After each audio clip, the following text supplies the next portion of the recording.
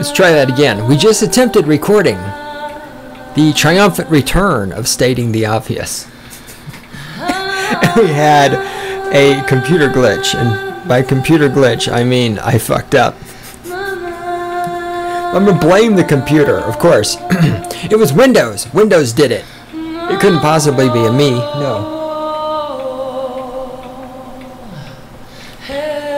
I never make mistakes. No, of course not. Don't. What are you talking about? I do not make mistakes. You how many years have you known me, Randy? Have I ever made a mistake? Exactly. Set name one time I've made a mistake. Yeah. Oh, you can scream, shout, whine, cry, snivel, piss, and motherfucking moan. You shove your opinion up your ass. That way Obama's cock has something to keep it company.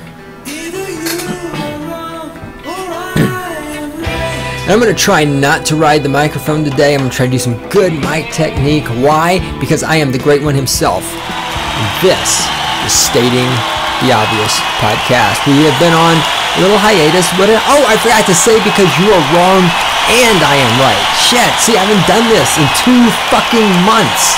I've been doing the Anarchy Moment podcast from the Cynical Libertarian Society, but this, this is the flagship. This is a, this is the weapons platform from which I launched the cruise missile of my intellect that homes in on and destroys stupid motherfuckers all over the world. Yes, I know. I know, Randy. I know. Yes, the microphone is pegging out. I see that. I fucking see it. Don't shoot me. Don't fucking shoot me. Drop the input down a little bit. Oh, shit. Too much gain on that motherfucker. Ugh, I, ugh, it's like I'm on cocaine. Probably shouldn't say that because the NSA is listening. They'll think I'm serious. All right, bring the. Now, see, that's too much down. What? No, I'm not pick, not nitpick. J- up, up, up, up. There we go. I like that better. I yes, I'll try to stay off the fucking microphone. In the control room, telling me how to do the mic technique is the lovely and adorable Randy. I am the great one himself. This is Stating the Obvious podcast from the Cynical Libertarian Society. CYNLIBSOC.com on the internet. You can send us your love mail, your hate mail, your naked pictures, whatever the fuck you want to email to us. You can email that to God, G O D, dog spelled backwards, God at CYNLIBSOC.com. All right, I was out of state for a while there doing some work, you know, generating value for other people, actually making money instead of receiving tax money and shit like that, things that a lot of you wouldn't know anything about. And I've, of course, been doing the Anarchy Moment podcast, started that up so I could get little things out here and there. And then I've been back catching up on this, catching up on that. Here we are. Here we fucking are. So as I was sitting down to do this, I was worried that I wasn't necessarily going to have enough material to talk about to fill up an episode of Stating the Obvious, which of course is the stupidest fucking concept I could ever come up with. Because you can't see this, but right behind me is a fucking pile on the floor, literally on the floor. There's a pile of materials for me to talk about on this podcast on the floor that is at least eight fucking inches tall. And there's another goddamn pile on the desk over there that has dust on it that is what is that randy? It's about four inches about four inches tall. So i like the idea that i'm gonna fucking run out of statism to fucking talk about is absurd. But somehow sometimes i get these really dumb fucking ideas in my mind. What is today? Today is september the 9th 2013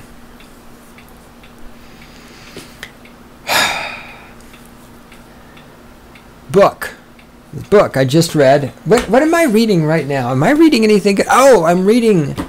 I'm not. I don't have it here. I can't remember the title. I think it's called Being Wrong. I'm going to talk about it some more in the future. It's really good. Also, I want to plug Confessions of an Online Hustler by Matt Forney. It's a book about blogging for money, making money on the internet. It is a fantastic book on that topic because it's no bullshit, it's direct, it's factual, it's to the point. It's written by somebody who actually makes money on the internet. It's not get rich quick like this other book I read that made me laugh my ass off. All right, plug in that. All right, now, this book. why do I feel like I'm forgetting what I do? I did the website, I did the email, I did who we are, I did what the podcast is. I even did the date. I usually remember, don't remember. I don't know what I'm saying. I can't talk. I usually don't remember to do the date. What am I forgetting, Randy? Uh huh. No, I think we. All right. Never mind. It's just my brain. My brain hurts. It's an atypical day here in Fort Collins. It was cloudy, it was overcast, it rained a little bit. I went out, took a little walk before Randy came over to the studio for the recording. It was really nice. I like this kind of weather. Have I? I have not record. Have I recorded stating the obvious since my bicycle got stolen? Somebody stole my bicycle from right in front of my apartment. It was locked up right next to my front door. Somebody cut the cable lock and stole my bicycle. Assholes. So far, the insurance company is coming through. Looks like I'm going to get reimbursed up to $2,700 to replace it because I had a very expensive mountain bike. It was also really old. I bought it in 1996. They stole it in the dark. They must have. I can only assume they stole it in the dark because if you looked at the bicycle in the daylight when you could actually see it, you would recognize it was not really in prime condition. But hey, it is what it is, right? All right Let's get to some substance now that we're six fucking minutes into the podcast. Is there anything else I can delay before to keep us from getting into substance? All right, let's do it. Donna, I, I don't know how to pronounce her last name. F R E I T A S. Fajitas, I don't know. She wrote this book called The End of Sex. Essentially, it's about the hookup culture among college kids and it's written as as best I can gather. I haven't done a lot of research into her, but well, she all right. Well, here we we can read on the in the uh, book jacket. That's what that's called. Duh. Whew. See, you can tell I haven't done this in a while. I'm out of practice. She holds a PhD in religious studies from Catholic University. I guess there's actually a place called Catholic University, not a Catholic university, but Catholic University with capital letters. And so she somewhat comes at this perspective from a religious perspective, but it's not overly religious, which I think is a good thing. Because when I first got the book and I'm looking at it, oh, she's Catholic, yada, yada, yada. It's going to be sex is evil, everybody's going to burn in hell, all this other shit. And so it wasn't. And it's, it's a good book. It's an easy read. I think it's really interesting. It's something you should probably check out the basic premise here is that the kids these days in the colleges, yeah, these kids these days, they're all hooking up and they're just having random sex. They're just having random sex. And essentially, they're having sex without any kind of emotional attachment to it. It's essentially a mechanical thing. It's the it's the hookup. You hook up with somebody, you fuck them one night, and then you go your separate ways. And that is essentially their sex life. And she's making the argument that this is not, in an emotional sense, you know, the healthiest way to go about doing these things. And the thing I like about the book is it's not over moralizing. You know, it's not because she, okay, PhD from a Catholic university, right? You would think she's going to be going, "Oh my God, you're having sex before you get married. You're going to burn in hell. And if you got an abortion, you're a murderer. You're going to burn in hell, and you're going to burn in hell. And if you have sex before you get married, unless you're a priest fucking an eight-year-old boy, you're going to burn in hell and burn in hell." And so it's not from that perspective at all it's uh, pretty reasoned and pretty rational. And she has, in the course of doing research for this and a previous book, she's done a lot of interviews with college students where she's talked to them about their sex life. And there's a lot of interesting stuff in here. Like at one point, she comments that of the hundreds of students she interviewed, only one person ever referred to fucking as making love and she you know, goes through just looking at their attitudes towards sex and how they think, well, hooking up is what I'm supposed to do. I'm not supposed to have a relationship. I'm just supposed to have sex with random people, and there's pressure to do that, and you know, peer pressure, yada yada yada, yada yada yada. I'm not going to summarize the entire book. There's some stuff I want to read though, and I marked this off for me to read this in the podcast about three weeks ago so I have actually no fucking clue. I don't remember why I'm reading this or what it's about. So I'm going to read this, and you and I are both going to be surprised at the same time. And after I've read it, hopefully I'm going to remember what the hell I wanted to say about it because that's just how I roll. Because I make shit up here as I go along because I am that fucking good. Right, Randy? Because remember, name one time I've ever made a mistake. Okay, other than that time. Name one other. Okay, name another one other than that one. Name, yeah. No, that one doesn't, no, that one didn't count. Name, all right, name another one. No, all right, fine. Okay, name another time I've made, see, look at that. You can only name four times I've made a mistake. right, because there's only 24 hours in a day. All right, let's do this. Instead of us fucking around, let's do this.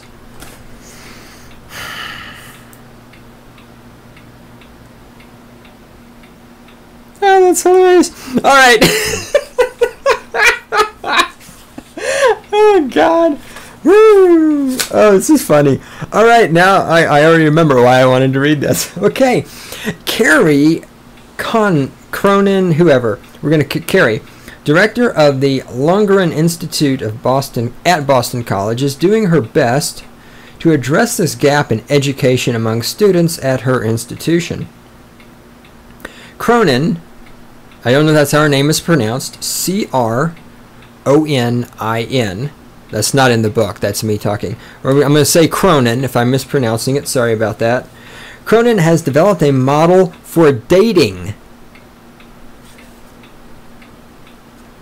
Now, as I read this, please, please keep in mind that we're talking about college students in the year 2013. We are talking about the smartest generation ever. We're talking about the future of America. These kids are going to college where they're getting this wonderful education that's going to allow them to go forth into the world and they're going to make so much money and they're going to change the world and they're so smart. Okay, as I go through this, remember, we are talking about the smartest generation ever. They've got Google and they've got iPhones and they have GPS and they can text and they are the smartest generation ever. Cronin has developed a model for dating that pairs in class discussion with out of the classroom life skills. In the spring of 2005, Cronin gave her students an unusual assignment in, one in a one credit capstone seminar to go out on a date. What persis- pers- precipitated this assignment was a conversation with some seniors at BC who had informed her that they had never been on a date at college. She found this so unbelievable that she began polling other students with these three questions Are you dating anyone? Have you ever? And if not, why not? Cronin quickly learned that the students were dying to talk about dating, even though most of them didn't have any dating experience.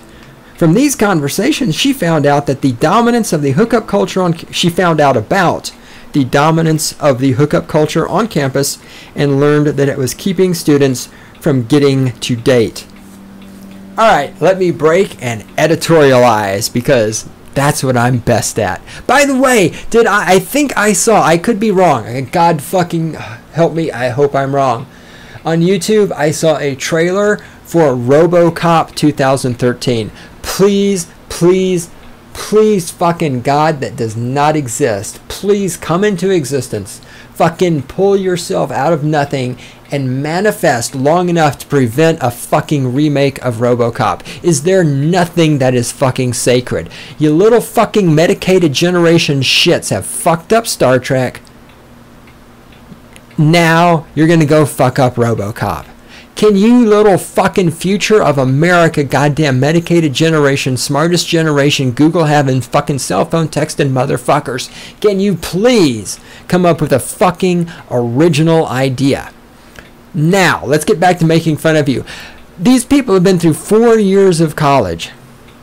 Medicated generation, future of America, smartest generation ever, went to college, got educated, never been on a date because they're busy having drunken fucking hookups. And then this is the thing, when you when you see these people, speaking as a man, right? You look at these women, these girls, and you look at them and and see, here, here's the thing. So I live in a college town. For those you don't know it, Fort Collins, CSU, right? And so the college girls here, you know, they're all like, "Ew, you're old and creepy." It's like, yeah, but I can still fuck you.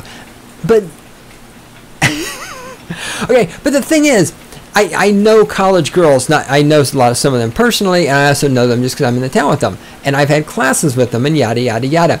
And they they I don't want to say all of them, that's generalization, but many of them, very a lot, you know, more than 50%, okay? Again, my definitions when I use the term many, I, that is used to mean more than 50%. More than 50% of them look at themselves as this fantastic uh, catch. You know, this fantastic woman who's going to be a great wife someday, and some man should really want her, and she's so valuable, and all this other shit. And it's like they don't realize that they're just fucking emotionally broken skanks.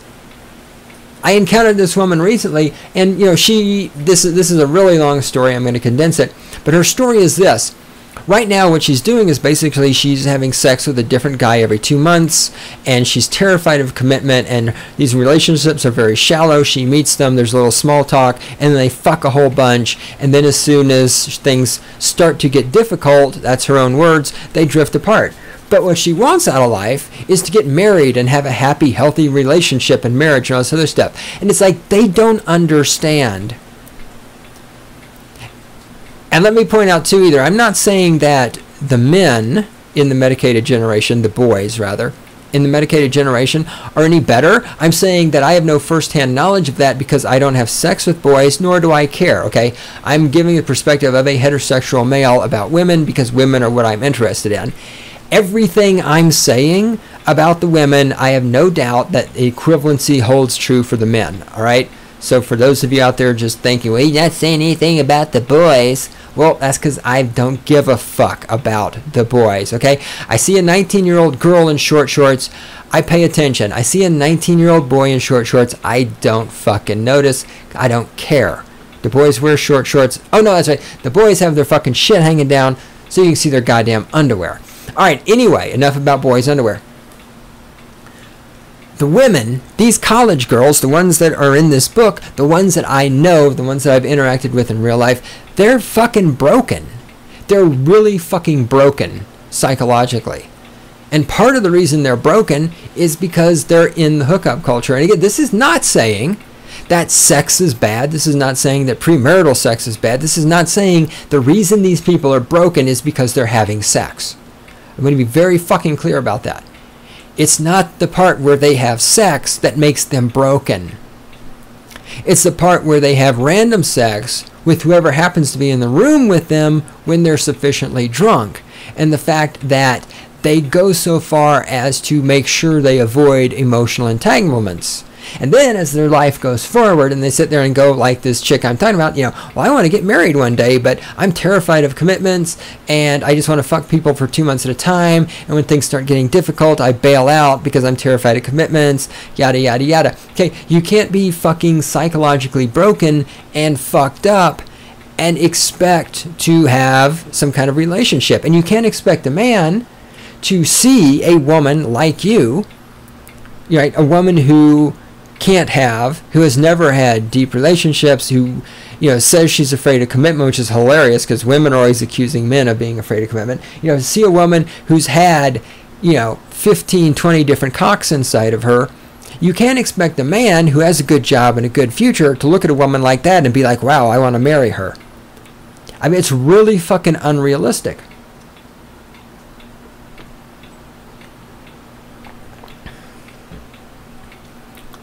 Because as a woman, you need to understand that there's a point where after a certain number of cocks have been inside of you, men are going to start losing interest real fast. Nobody's saying you can't have sex, you know, before you meet him. But it's like when you're if you're 25 years old and you fucked 20 guys, that's kind of sketch. It's just a fact, honey.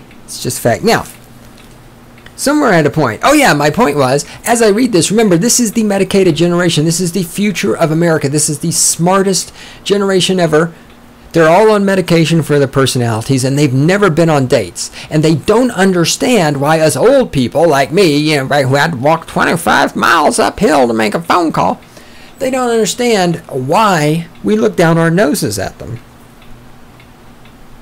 It's because you're broken. All right, the same winter, Cronin and two women colleagues held a panel called Take Back the Date an event that turned out to be standing room only. Cronin and her colleagues had diligently prepared to answer student questions on sexual, ex- sexual ethics, moral reasoning, philosophical and theological attitudes about sex, and even the explicit how to's of sex. But the types of questions from the packed auditorium were far more basic and innocent. Quote, how do you ask someone out? Unquote. Quote, where do you go on a date? And, quote, who pays? Now, these are the questions being asked of college professors by college students who are members of the smartest generation ever. They have Google. They have cell phones. They're on medication for their personalities. They're going to save the world. They're going to be rich when they graduate with their college diploma. You know, Obama is the messiah. He's the president. He's going to give them free health care. And they're seriously asking questions like, how do you ask someone out? Where do you go on a date? For those of you out there under the age of 30, there's a reason why I think you're stupid. This is it, right here. Now, in a way, this is good news because what this tells me is that college girls that I am surrounded by are stupider and more gullible and easier to fuck than I ever thought they were.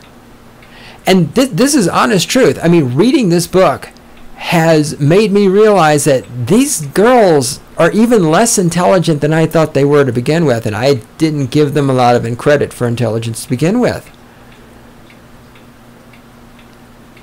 If anything, th- you know, now this is counterbalanced, of course, by the fact that they're a bunch of left-wing statist feminazis but honestly, in the long run, this kind of just pure fucking stupidity should make it easier than ever to fuck the little bitches. So for those of you who live in college towns and like fucking college girls, I mean, take this as a positive thing. They're dumber than you think you. They're dumber than you think they are.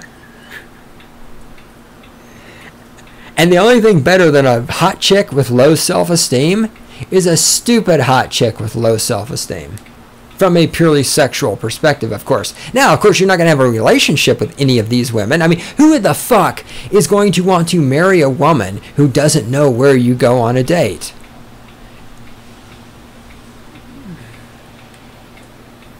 And then they're all going to wonder why they're old and they're living with their 73 cats and they've never been married before. The following semester, Cronin told her 11 seminar students she wanted them to go out on a date. The assignment was not mandatory at this stage. Quote, they all agreed to do it, and they talked about it all semester. The assignment itself, how to ask someone out, etc. But in the end, and after all the talk, only one person, one, got up the courage to actually go on a date. The rest chickened out.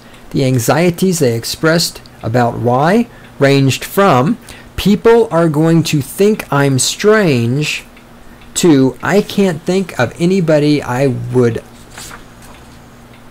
like or would want to ask out. I kept thinking, this is a college with 9,000 undergraduates. How many people do you need? You really can't find anyone you'd like to go for coffee with. Unquote. All of that was a quote from Cronin, who teaches the classes. Let me let me read this quote. This is what she is saying about her students. This is they the rest chickened out. The anxieties they expressed about why ranged from people are going to think I'm strange as I've said a million times before, women, especially young ones, but all of them, are primarily driven by what other people will think about them. The medicated generation, the smartest generation ever, the female members of the smartest generation ever are fucking terrified to go on a date because other people might think they're strange. Guess what, you stupid bitch? Other people think you're a motherfucking loser. And when you're old and dying with your 73 cats and there's nobody else around you, you're going to fucking maybe, actually, you won't regret it. You won't regret it because you won't know any better. I can't think of anybody I would like or would want to ask out. This, this is a huge problem with the young females. As she points out, you're on a college campus. Really? You, I just said really. There's a great, Mad, Maddox did a great video about how really is not a punchline. now every time I say the word really, I think about that. Oh, God. Is hilarious. Maddox also did a great video about how fucking cheese pizza is not really pizza. It's just bread with cheese on it and about how pepperoni is a disgusting topping. And if you, all you order is cheese pizzas and pepperoni pizzas, maybe you're a fucking loser that needs to get a little more imagination. Or you're a member of the medicated generation. All right, anyway. I mean, this is a great point. How can you be a student on a fucking college campus and not be able to find anybody that you want to go drink a cup of coffee with them and just talk to them? I mean, how much of a goddamn th- this is either these women are incredible fucking losers, or the other thing I find with women, especially you know younger women under thirty, medicated generation, uh, future of America women, great, smartest generation ever women. The thing I find with these women is their standards are so mind-blowingly high for what they expect from a man, and yet I'm losing my place in the book. They offer absolutely nothing. I mean, think about it. a woman who doesn't know how to ask somebody on a date, a woman who doesn't know, you know, where you go on a date. I mean, how can a woman that stupid, I should say a girl, how can a girl that stupid have expectations for a man? I mean, she is bringing nothing to the table with her her expectations for a man that would stick his cock inside of her need to be really fucking low. I mean, really fucking low.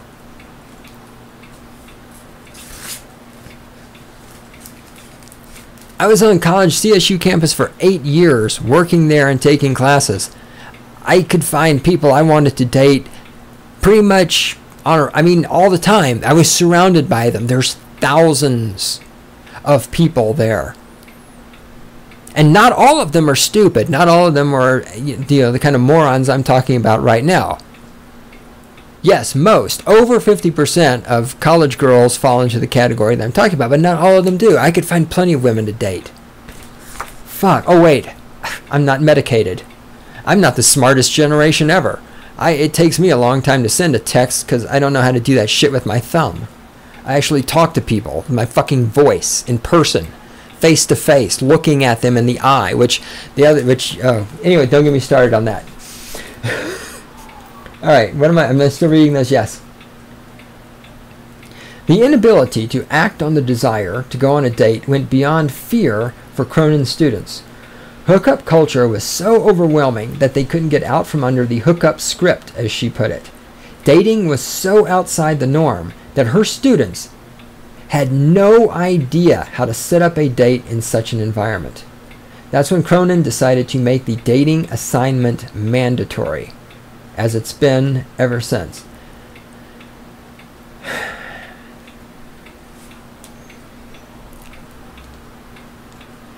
Smartest generation ever.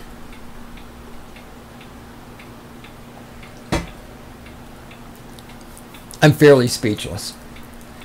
And as those of you listen to Stating the Obvious know, that doesn't happen a lot. Debate. I, I'm going to keep reading. At the very beginning of the third semester, after she that she assigned the date, I stipulated that students could not pass the class unless they did the dating assignment, Cronin said.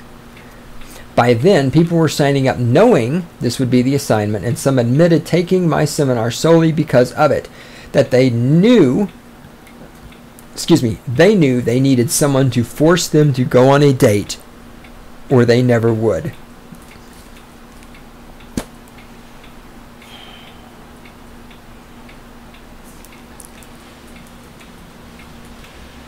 Okay, today, Cronin's.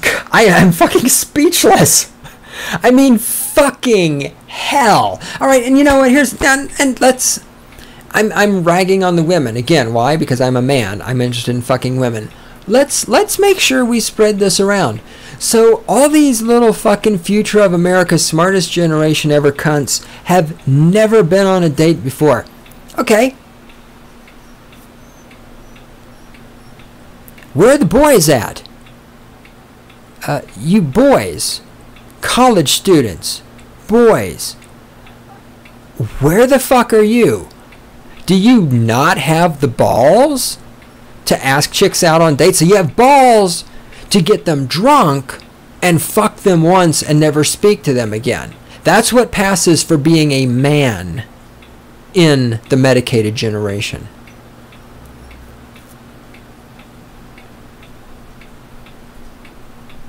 That that's again women the women in the medicated generation that's the pool you have to choose from is a bunch of fucking boys who don't have the balls or the intelligence or the wherewithal to ask chick, hey, you want to go get coffee? Hey, you want to go get a beer? And to maybe get the beer and not fuck her that night and then never speak to her again. That's the pool you have to choose from when you finally, you know, start getting old and you decide, oh, I need a husband because I'm 40 and I'm unmarried, and you start getting desperate. And by that time, all the good men in your age range, because that's, a, you know, again, age discrimination, totally okay. So you're going to be picking from men in your age range. By that time, the men in your age range who are good, who have value, they're going to be marrying some chick who's 20 years younger than them.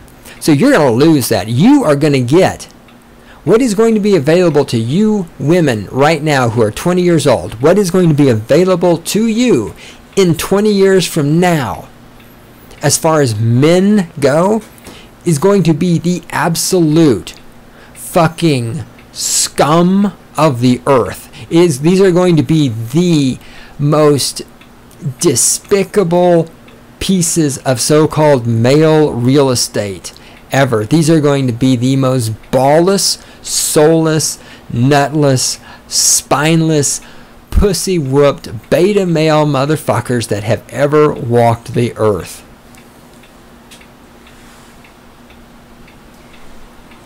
And you're probably not going to want that. And you know what? I can't blame you. So, as I'm sitting here reading this and making fun of all these girls for being like this, you know, the boys in the smartest generation ever are not exactly fucking stepping up to the plate. Not stepping up at all. And again, if you're over the age of 30 and you live near a college campus, this is good news for you. Because all those girls, hey, you, you could take them out and just buy them a cup of coffee. And this is going to be beyond anything they've experienced. You're be able to fuck them for days because they have no, again, not all of them, but a vast majority of them have no experience with having a member of the male sex treat them apparently with any kind of romantic serious interest. I mean, apparently it's it's just get them drunk and fuck them and never talk to them again. So you can blow their tiny little fucking brains and get them to blow your cock. All right.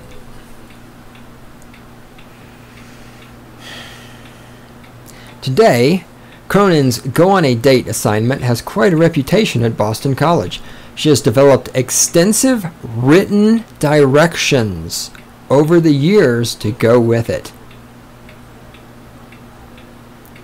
Let's let that sink in for a moment. Extensive written directions to go on a date for the smartest generation ever. Not only has the class become more popular with every semester, but the date, a la Professor Cronin, has acquired a certain aura among undergraduates at BC. Everyone seems to know about it, even students who have not been in the class. By the fifth or sixth semester that I taught the class, there wasn't anyone on campus who hadn't heard of the assignment, said Cronin. Eventually, people who weren't even in the semester started to do it too. People started telling me how they really relied on the assignment to justify asking someone out. It was typical for students to actually mention they were required to go on a date for the class while asking the person out because so many people on campus already knew about it it was much it was that much easier to do the asking unquote. During one semester cronin recalled a young man became invested in how to make the asking out part of the assignment more manageable and authentic. So he came up with phrasing to accommodate both needs and shared it with his peers. Quote I have this assignment to go out on a date, but I've been wanting to ask you out for a long time anyway. Unquote. This allowed students to use the assignment as a crutch and as a legitimate invitation to go on a date. What he should have added was, I have this assignment to go out on a date, but I've been wanting to ask you out for a long time anyway. But I'm on medication for my personality, and as part of the side effects of that medication, it's completely shrank my fucking balls so that they're so goddamn tiny. I was not able to find them so as to ask you if I if you would go out on a date with me, which is kind of good because I don't actually know where to go on a date anyway because I have no fucking class, no fucking manners, no fucking balls, and I'm a member of the smartest generation ever. Oh my god, like totally friend me on Facebook.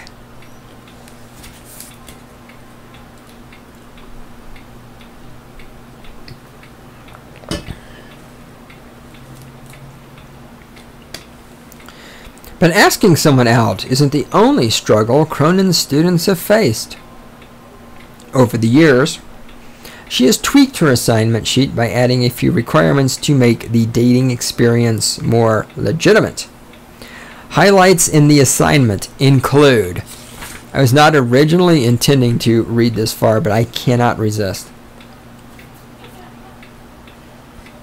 I'm going to stop after this. All right, here are here are the criteria. Here's some of the criteria.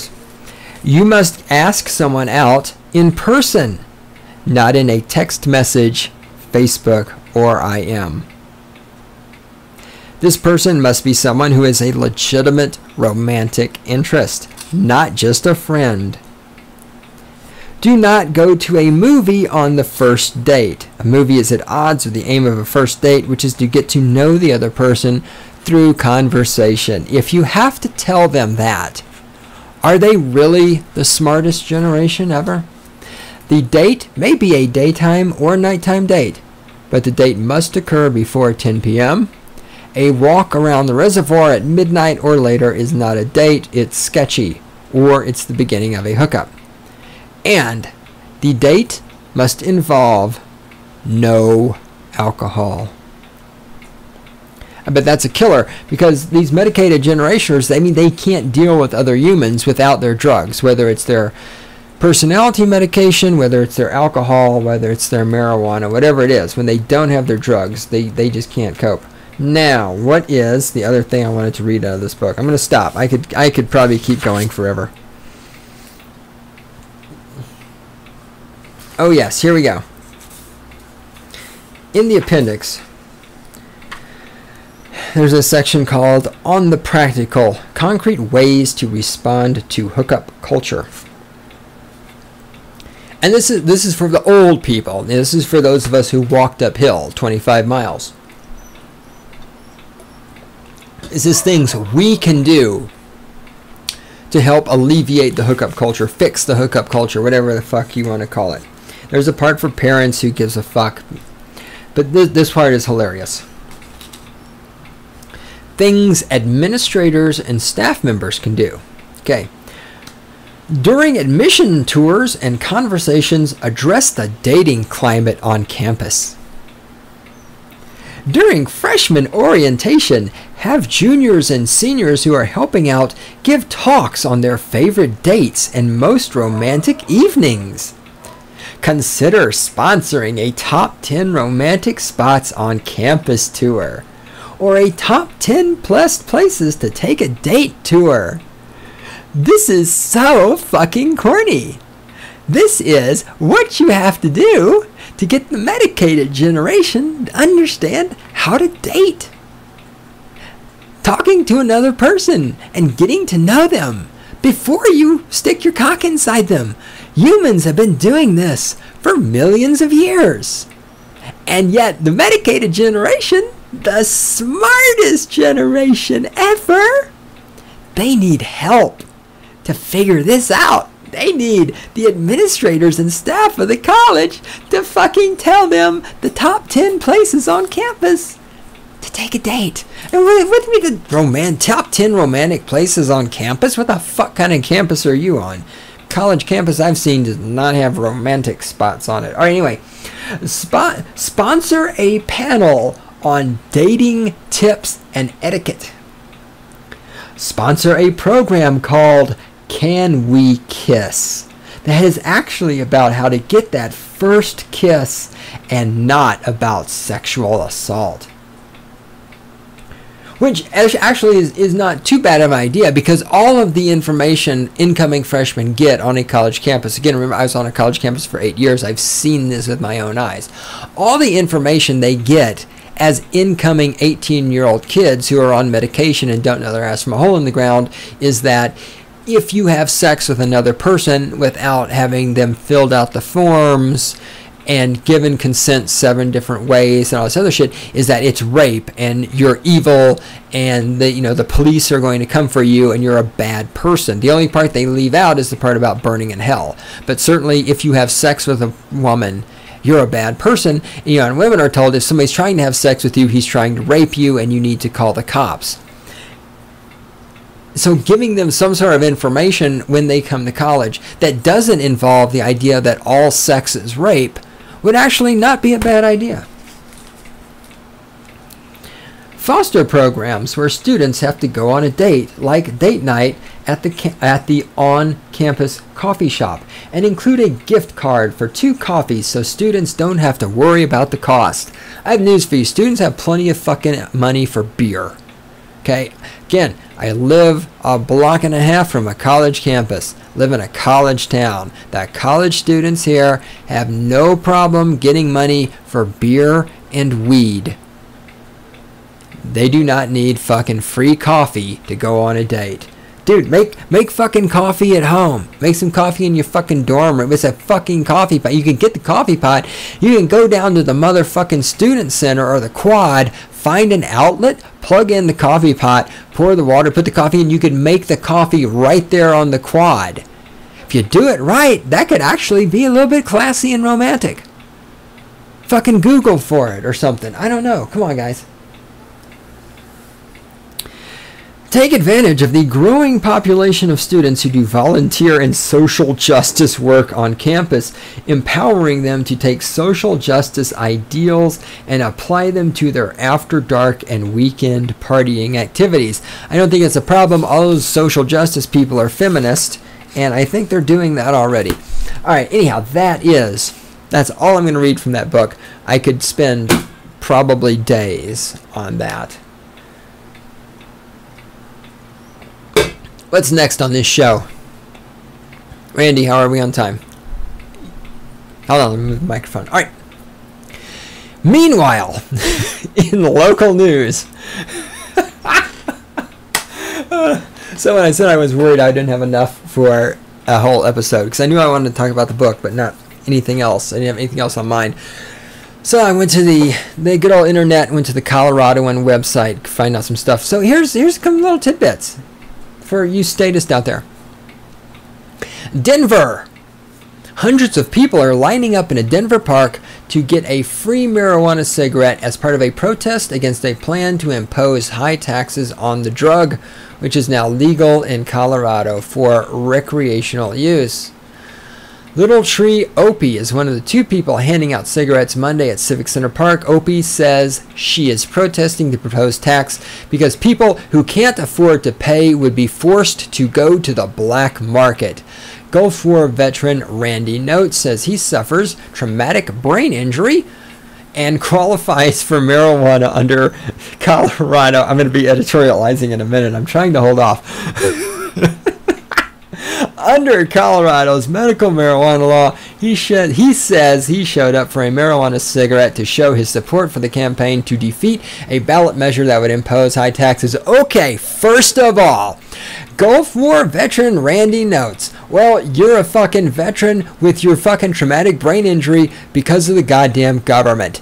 Well, fuck you, right? You voted for Obama, you support the government, you got what you fucking deserved. Shut the fuck up. Little Tree Opie.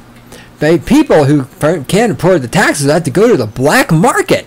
Oh my god. Well, guess what, people? Of course the fucking I told when marijuana legalization happened here in Colorado, I tried to explain this to you stupid motherfuckers, but hey, as usual, nobody will fucking listen because everybody thinks they have all the fucking answers and nobody will fucking listen.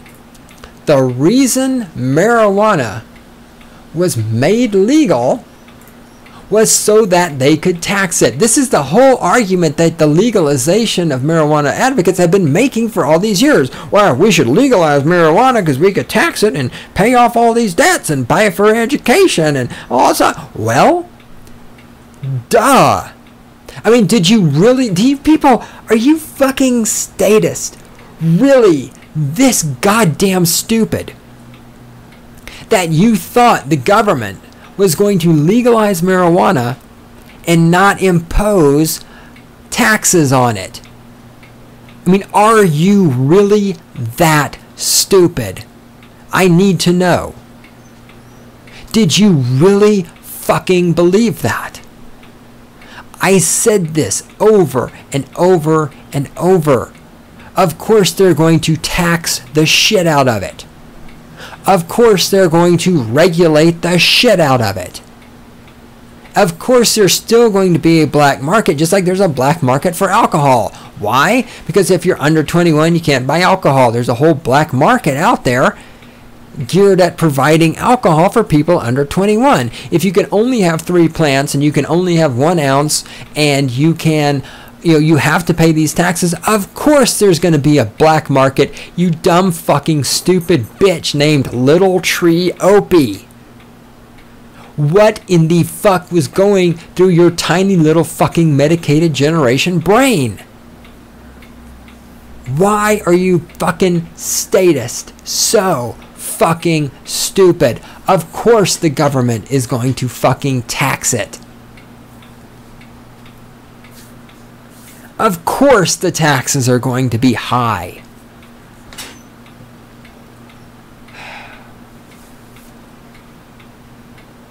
Fucking Christ.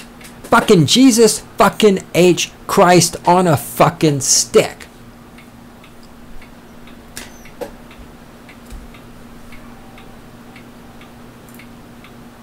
Meanwhile, Jared Polis, who is a congressman from Colorado. I, I don't know if he's a Republican or a Democrat. I don't give a shit. But anyway, he, he has a column in the thing today where he's talking about how he has reviewed the classified materials about Syria, yada, yada, yada. And he says, Nothing I have seen or heard has changed my opinion. I plan to oppose military action in Syria. Yes, I'm sure you do, fuckhead Polis, but you're not going to oppose it enough to fucking stop funding the military, or you're not going to oppose it enough to fucking impeach Obama because his nutsack is in your mouth. So shut the fuck up, Jared Polis. Okay? Just shut the fuck up. Meanwhile, the Timberline Church has bought the building in which the Hunt Club resides. For those of you not from Fort Collins, that means nothing to you. The Hunt Club is our only, what, what I call a titty bar, what some people call a strip club in Fort Collins. I thought this was just hilarious, and I actually found out about this before the news broke. I wanted to get to the internet so bad, and like, oh, guess what, everybody? I just found out that the Timberline Church has bought the Hunt Club. I didn't. The newspaper got it out first. Boo. Anyway, I, I, I mean, it's kind of funny. Church buys the strip club. They're shutting it down to make a church. They're going to put a church in what used to be a strip club. That's good shit. All right, and now I'm running out of time. Oh, and then we got this. Shit, I don't have time for this stupid fucking cunt and her fucking whining. Oh, all right, well, now we know what. Actually, yes, Randy, I can do her and I can do Hummer Boy in the next episode. It's perfect. It'll be perfect. It'd be like a two banger. Yes, almost like a three way. All right. Wow, it's getting kind of dark outside. Cloudy. All right, so yeah, we're we're creeping up on the end of the episode. trying to think what other kind of good stuff I got. I recorded a anarchy moment today where I just lost my mind after listening to Stefan Molyneux in a debate with some incredibly stupid people. I am so, so losing my patience for idiots. And I, I am so surrounded by idiots. They call themselves statists. I, well, I call them statists, excuse me. They call themselves sane, rational, civilized people who, of course, believe in murdering anybody who doesn't agree with them and think that it's okay to kill brown people in foreign countries with flying robots if you're black and you live in a White House. So they're actually very, very sick, psychopathic, really mentally fucked up pieces of shit. But they think they're normal. I think they're statists. They scare the shit out of me. I'm getting really sick and tired of them. Not sure how much more I'm going to be able to take before I just fucking lose my mind and go live in a cave up somewhere in the fucking mountains or something. But anyhow, that's wrapping up this episode of Stating the Obvious. I welcome myself back. Thank you, Internet. Thank you, listeners. Here we are. I don't bother with the other side it's called the non-aggression principle. It's right. It's not that fucking complicated. It just means you might have to get off your ass, put down the fucking welfare check, stop killing other people, and actually work for something in your life. Fuck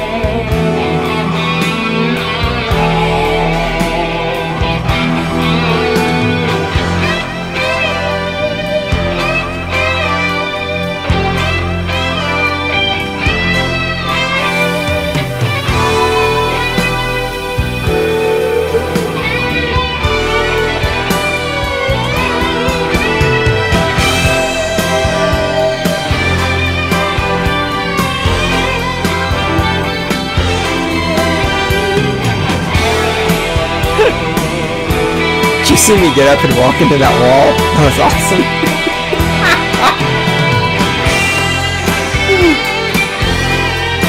hey Randy, there's a wall over there.